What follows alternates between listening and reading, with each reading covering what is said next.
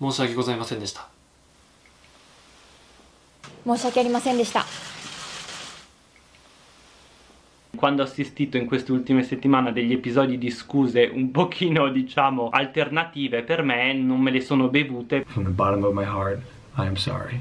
I'm sorry it had to end like this. Um, Ciao ragazzi e benvenuti su questo nuovo video, un nuovo video di cultura giapponese. Allora questo era un video che vi avevo promesso qualche settimana fa Tuttavia vabbè ragazzi se vi siete visti l'inizio del video sulla geisha assassina saprete benissimo perché Ho deciso di trattare nuovamente questo argomento rigirando il video da capo Aggiungendovi dei dettagli e togliendoli di tutto quel dramma che è successo nelle scorse settimane Perché sinceramente non voglio annoiarvi Quindi vorrei concentrare questo video sulle scuse in Giappone, come ci si scusa e che cosa significa per i giapponesi scusarsi e in quale circostanza essi si scusano.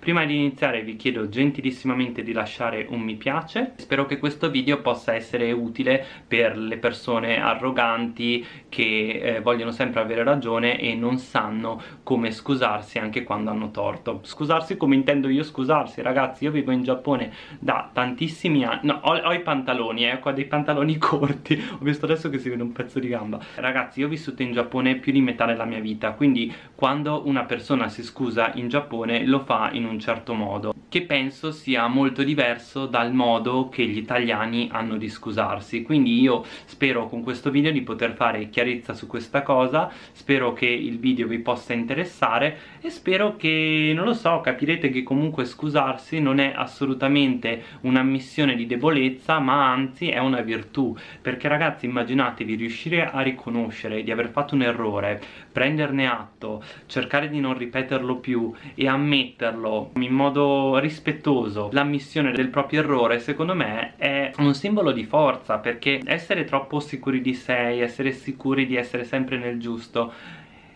diciamo che non, non, vi porterà lontano perché sempre si sbaglia. Io sono il primo a sbagliare però ragazzi l'ammettere di aver sbagliato e cercare di rimediare è la cosa giusta da fare e è quello che tutti dovrebbero imparare a fare. Di solito è una cosa che si dovrebbe imparare già nell'adolescenza se non prima ancora. Però ragazzi ci sono delle persone che fanno veramente fatica a capirlo. Quindi noi parleremo di questo in questo video. Io credo che la differenza maggiore tra chiedere le scuse in Italia e chiedere delle scuse in Giappone sia che chiedere delle scuse in Giappone non lo si fa soltanto per ammettere le proprie colpe e prendersi la responsabilità. Non è assolutamente l'unico punto. Infatti molto spesso in Giappone ci si scusa per molti altri motivi. Lo si fa per mostrare gentilezza, modestia e anche per abbassare il livello di incazzamento magari dell'altra persona. Vorrei adesso mostrarvi due clip di scuse e vorrei commentarle insieme. Allora la prima saranno le scuse di Logan Paul. Dopo che ha fatto vabbè ragazzi cosa ve lo sto a spiegare a fare se volete andarvi a vedere il video qui. La seconda invece sono le scuse di questa campionessa di tennis Osaka Naomi questa ragazza giapponese il cui padre è americano e la madre è di etnia giapponese. Se volete saperne di più su Naomi Osaka in realtà ho anche fatto un video quindi potreste andarvelo a vedere. There's a lot of things I should have done differently but I didn't. And for that from the bottom of my heart I sorry was cheering for her and I'm sorry it had to end like this. Um, come potete vedere comunque eh, già da questa clip potrete vedere come Naomi Osaka sembra molto più dispiaciuta rispetto a Logan Paul pur non avendo fatto nulla di male. Cioè non so se avete capito perché Naomi Osaka si sta scusando in questa clip. E l'unico motivo per cui lei si sta scusando è perché dice ho vinto io, so che c'erano molti che facevano il tifo per quest'altra atleta e mi dispiace di aver vinto io. Cioè avete capito? lei si è addirittura scusata per questo. So che è un concetto veramente difficile per gli occidentali da capire. Perché voi dite ma Naomi Osaka non aveva fatto nulla di male cioè stava partecipando a un torneo di tennis, ha dato il meglio di sé e ha vinto perché si è scusata. in realtà questa è proprio la tipologia di scuse che vedrete molto molto molto spesso in Giappone. Secondo me in questa clip si capisce perfettamente quanto Naomi Osaka dentro sia giapponese, forse perché l'avrà educata la madre che è giapponese, però secondo me questo proprio dimostra questa modestia e questa capacità comunque di di mettere anche le altre persone a loro agio, cioè tutta questa gente che le stava gridando bu perché aveva vinto e lei con quella frase è riuscita a zittire tutti e l'ha fatto con una tale grazia e classe che veramente è da ammirare. Storicamente comunque il Giappone, anche parlando delle Nihon Jinron, comunque sappiamo che è una società proprio definita gruppista è una società definita anche Shudan Shugi, quindi che non si basa sull'individuo ma sull'intera comunità. Quindi l'essere escluso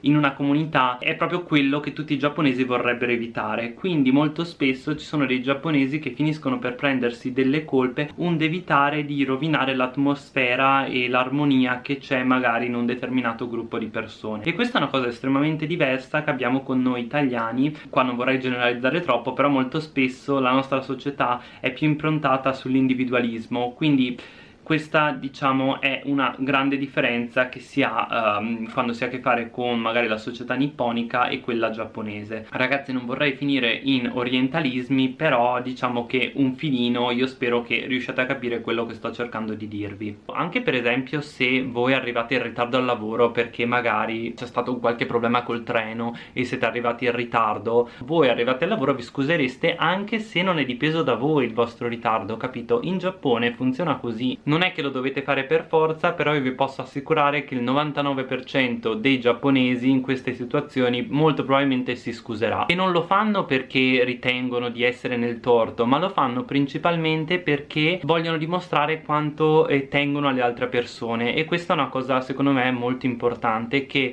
molto spesso molti italiani quando si scusano non capiscono. E si scusano solo se sono nel torto marcio. Ma ragazzi anche se avete fatto un piccolo errore scusatevi che è meglio nel dubbio dubbio perché in Giappone come vi ho detto all'inizio scusarsi è una virtù per i giapponesi. Un fatto molto interessante è che la parola sumimasen che in italiano può essere tradotta come scusa in realtà in molte situazioni questa può essere tradotta come arigato quindi come grazie e questo in molteplici situazioni. Per esempio non lo so magari c'è una donna che è su una sedia a rotelle e l'ha detto alle ferrovie che l'aiuta a salire sul treno dispone il tappetino per poterla far salire. Guarda scusami un attimo devo allestire un po' qua la cosa e lei magari dirà hontoni sumimasen in quel caso però quel hontoni sumimasen in italiano lo tradirei più come un um, sì, un scusa che ti ho fatto fare questa cosa ma anche un grazie mille per esserti comportato in questo modo. Altre situazioni può essere per esempio al bar quando vi portano una bevanda che avete ordinato magari vi diranno Kocira oceanina rimasto e magari voi risponderete ah sumimasen ecco qua che è arrivato il caffè. E voi risponderete ah scusa.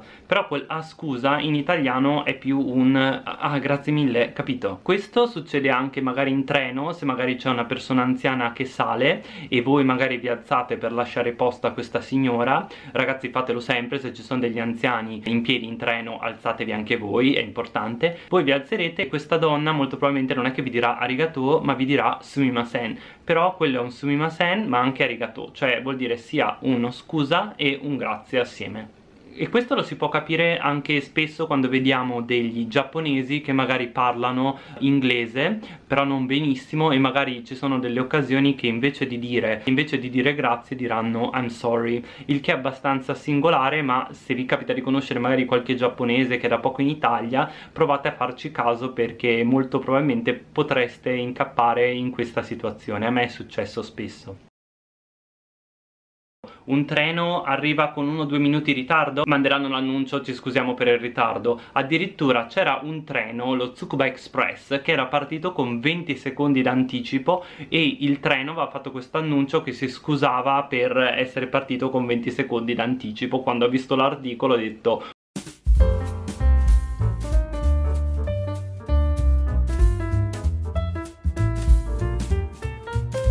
Un'altra situazione in cui magari in Giappone si scusano ma in Italia no è quando arriva l'ambulanza. Magari l'ambulanza arriva a un incrocio, deve passare e praticamente eh, l'autista dell'ambulanza o l'altra persona che è seduta comunque insieme all'artista in ambulanza prende questa specie di microfono e dirà eh, scusate dobbiamo passare, potete farci passare, grazie mille. E poi passano, ringrazieranno e chiederanno scusa eh, per eh, diciamo il disagio che hanno potuto creare. E ragazzi sì, c'è un una sirena quando passa l'ambulanza ma in più eh, si scusano per cercare comunque di tranquillizzare gli altri guidatori o passanti che magari si trovano lì quando l'ambulanza deve passare.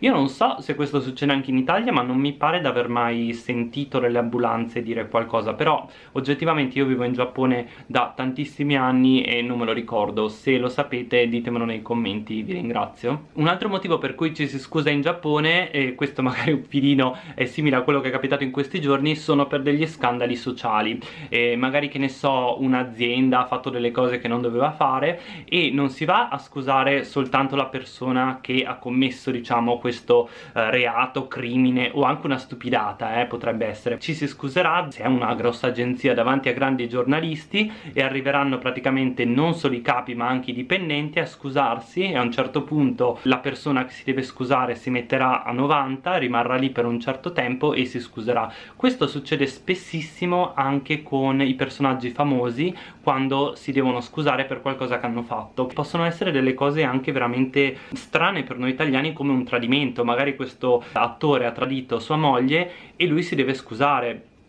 cioè capite, c'era questo personaggio famosissimo Becky che si è dovuta scusare e riscusare per essere andata con un uomo che aveva già una compagna quindi lei non stava nemmeno tradendo, era questo uomo che stava tradendo ma lei si è dovuta sposare e hanno anche cancellato molti lavori 申し訳ありませんでした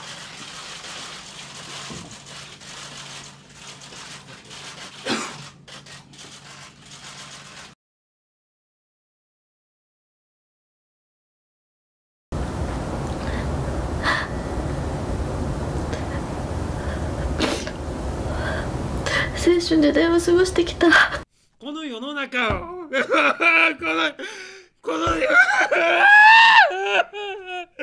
ああこの世 Anche gli youtuber si scusano e lo fanno magari attraverso dei video di scuse Per esempio c'era lo youtuber più famoso giapponese che si è dovuto scusare perché a un certo punto mi sembra avesse Totmo Rose insieme Non so tutta la storia però questo è un pezzo del video 申し訳ございませんでした